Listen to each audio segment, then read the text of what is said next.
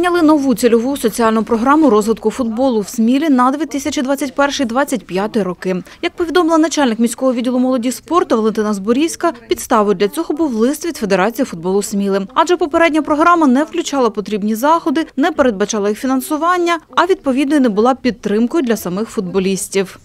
Так як офіційні, е, офіційні календарі змагань щорічно містять е, інші заходи, ніж ті, що в нашій програмі, то ці заходи, звичайно, нашою програмою по футболу не фінансуються.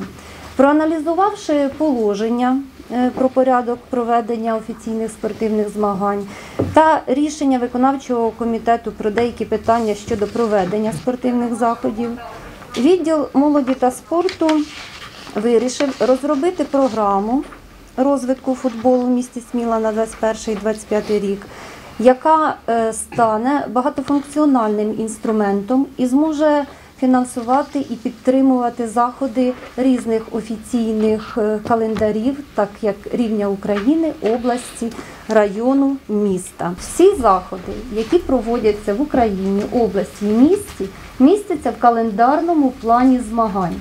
Це офіційний документ, який затверджується відповідно на кожному рівні. І наша програма повинна була б його фінансувати, ці заходи. Але та, яка вона у нас є, не могла фінансувати, бо в нашій бувшій програмі були зарані зазначені заходи, які не містяться в- офіційних календарях. Дана програма, яка розроблена наразі, включає видатки на е, заходи, такі як харчування спортсменів, проїзд, проживання, оплата добових, оплата внесків за участь команди, придбання нагородної атрибутики, транспортні послуги та е, організація і проведення спортивних заходів згідно з календарним планом, і придбання спортивного малоцінного інвентарю.